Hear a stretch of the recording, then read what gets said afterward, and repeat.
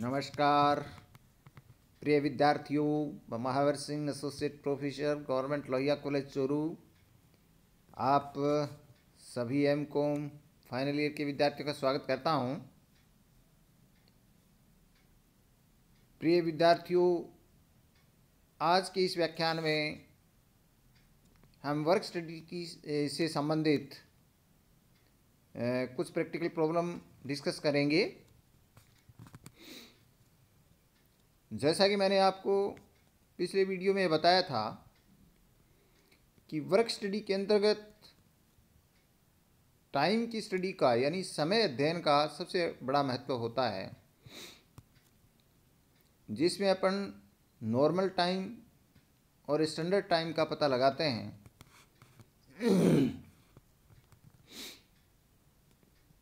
Normal time में कुछ allowances को जोड़ने पर स्टैंडर्ड टाइम आता है, ये भी अपने को पता है। और स्टैंडर्ड टाइम का कैलकुलेशन भी कई दो इक्वेशन से किया जाता है। जब अलाउंसेस टोटल टाइम पर, यानी स्टैंडर्ड टाइम पर हों या नॉर्मल टाइम पर हों। दोनों स्थितियों के अंतर्गत अपने एक एग्जांपल लेते हुए ये स्पष्ट किया था कि कितना स्टैंडर्ड टाइम आता है जिसका सीधा अर्थ ये होता है कि उस स्टैंडर्ड टाइम के अंदर एक यूनिट का उत्पादन हो जाना चाहिए या होगा ये हमारा अनुमान होता है। और उसके आधार पर हम ये डिसाइड करते हैं कि कितना समय जो है वो वास्तव में वर्किंग का होगा और कितना समय अलाउंसेज के रूप में वेस्ट हो जाएगा। एक प्रॉब्लम आज अपन और लेते हैं इससे संबंध में। ये प्रॉब्लम इस तरीके की है जिसके अंदर ये पूछा गया है कि भी दोनों समीकरणों के अनुसार परमापित समय की गणना करनी है और कार्य समय और अंतर जो है, वो छूट के समय की गणना भी करनी है। तो यहाँ पर देखिए total hours of the shift हैं। Total hours of the shift दस हैं। यूनिट्स प्रोड्यूस्ड जो हैं, वो 350 हैं। आइडल टाइम 15 परसेंट है। परफॉर्मेंस रेटिंग 120 परसेंट है। Allowances 10 percent of standard time है। यानी नॉर्मल टाइम का नहीं है स्टैंडर्ड टाइम की परसेंटेज अपने को दी हुई है। और कैलकुलेट करने के लिए कहा गया स्टैंडर्ड टाइम नॉर्मल टाइम का फॉर्मूला होता है observe performance into performance rating observe performance का हम पता लगाना चाहते हैं तो उसका फॉर्मूला होता है time worked upon units produced time worked अपने को दिया हुआ है।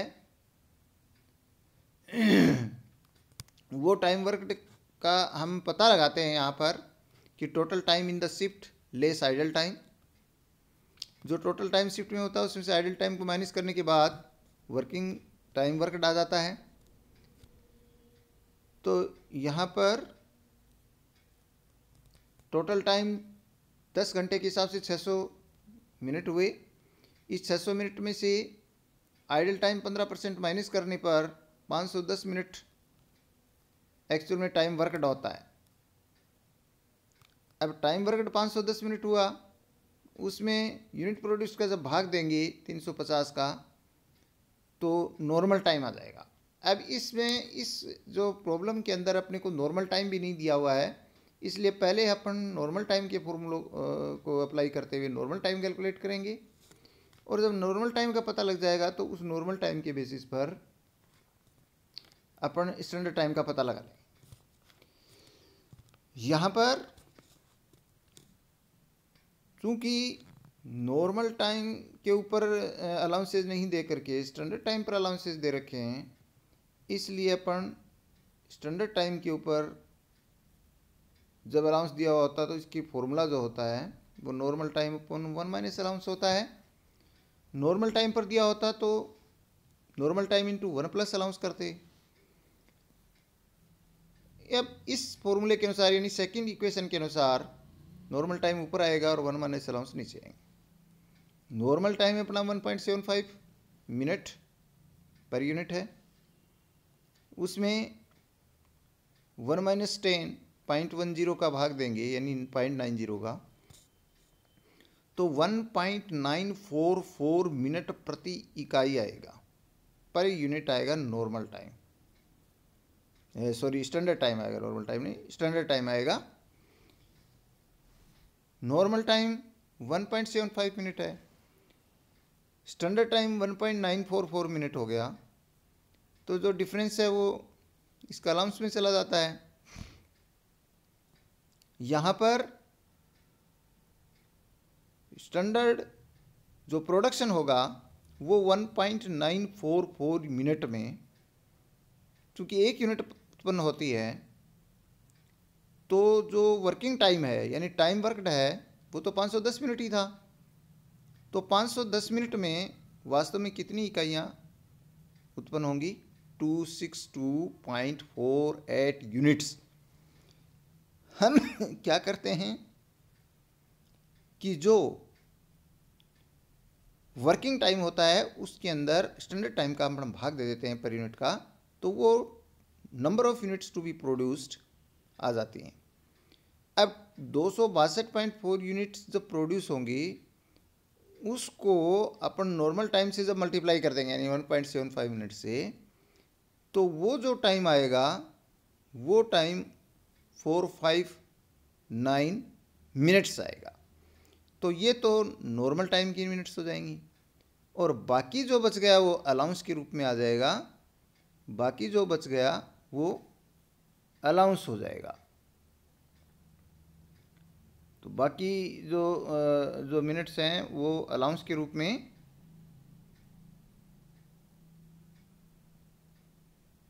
यानी फिफ्टी वन यूनिट मिनट्स क्योंकि टोटल 510 मिनट ही काम टाइम वर्क दिखाया था ना तो उसमें से ये बाकी जो हैं, वो अलाउंस के रूप में हो जाएँगी। क्योंकि इस 510 के अंदर जो टाइम वर्क है, इसमें अलाउंस इंक्लूडिंग होता है। और टोटल टाइम जो था शिफ्ट का वो तो पाँच सौ था लेकिन उसमें तो वो आइडल टाइम चला गया। जिस पर कोई कंट्रोल नहीं है, कोई मशीन टूट फूट के कारण से या अब नॉर्मल कोई हो गया तो वो चीज़ अलग रह जाती है। इसके अलावा हो जाती है, बाकी 510 मिनट काम था, लेकिन इस 510 मिनट के अंदर भी चार सौ उनसठ में एक्चुअल में वर्क हुआ है और बाकी 51 अलाउंस के रूप में है। अब अपन आते हैं प्रॉब्लम नंबर टू पर। प्रॉब्लम नंबर टू भी लगभग इसी तरीके की जो है वो प्रॉब्लम है, जिसमें यूनिट प्रोड्यूस्ड 420 हैं परफॉर्मेंस रेटिंग 135 परसेंट है टोटल आवर्स 60 हैं आइडल टाइम 20 परसेंट है अलाउंस 10 परसेंट है, और अलाउंस है वो, अगर नॉर्मल टाइम पर हो तो क्या सिचुएशन आएगी?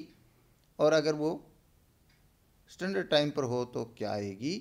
तो दोनों तरीके से अपने को ये देखना है। चलिए हम डिस्कस करते हैं। Normal time is equal to time worked upon units produced into performance rating ये हमारा नॉर्मल टाइम का कैलकुलेट करने का ये फॉर्मूला है अपना। जिसको अपने ये कहा था कि observe performance into performance rating करते हैं तो observe performance time worked upon unit produced अगर अपन ये भी लिख देते हैं तो भी एक ही बात है। टाइम वर्कड के लिए वही total time in the shift minus idle time होता है। तो सिक्सटी माइनस ट्वेंटी परसेंट यानी फोर्टी एट आवर्स ही टाइम वर्कड था। अब normal time forty eight into sixty upon four hundred twenty ये नॉर्मल टाइम आ जाएगा। और into one three five upon hundred कर देते हैं, एक सौ पैंतीस परसेंट इसकी जो परफॉर्मेंस रेटिंग है तो nine point two six minute प्रति, पर यूनिट इसका नॉर्मल टाइम हुआ ये नॉर्मल टाइम होता है और अब अपन स्टैंडर्ड टाइम इक्वेशन फ़र्स्ट के अनुसार निकालते हैं। तो फ़र्स्ट इक्वेशन के अनुसार तो normal time into one plus allowance होता है तो nine point two six into one plus point one zero हो गया अलाउंस तो 10.19 मिनट पर यूनिट आती है। 10.19 मिनट पर यूनिट का स्टैंडर्ड टाइम है, नॉर्मल टाइम है 9.26 two six minute per unit. Equation second को अगर अपन देखें तो इस इक्वेशन के अनुसार नॉर्मल टाइम पर अपन वन माइनस अलाउंस करते हैं। तो इस स्थिति के अनुसार ten point two nine minute per unit आता है, वो स्टैंडर्ड टाइम आता है। अब आप इसमें अलग अलग इक्वेशन के अनुसार डिफरेंस निकालना चाहेंगे तो जैसे दस पॉइंट वन नाइन मिनट में एक इकाई पैदा होती है, उत्पन्न होती है प्रोड्यूस होती है तो जो टाइम वर्क अपना के हिसाब से अड़तालीस इंटू सिक्सटी के अंदर जो है वो कितनी यूनिट प्रोड्यूस होंगी, और उतनी यूनिट के अंदर अपन नाइन पॉइंट टू सिक्स से मल्टीप्लाई कर देंगे तो वो एक्चुअल में क्या आ जाएगा? वो वर्किंग का हो जाएगा और बाकी अलाउंस का आ जाएगा। तो इस तरीके से ये जो है वो नेट रूप से जो ये विश्लेषण होगा, वो जो आइडल टाइम माइनस करने के बाद में जो समय बचेगा, हम उसी समय के दो पार्ट करने हैं, एक वर्किंग का और एक अलाउंस का। इस तरीके से ये डिवीज़न है वो हो जाएगा और दोनों प्रकार की इक्वेशन में ये जो है वो आंसर डिफरेंट आएगा। इस प्रकार से हम ये देखते हैं कि ये जो वर्क स्टडी है, जिसमें विशेष तौर से टाइम की स्टडी का पता लगाया जाता है normal time standard time idle time allowance का time standard production actual production ये सब चीज़ें जब कैलकुलेट होती हैं तो ये डिसीज़न मेकिंग में इसका बहुत बड़ा रोल होता है।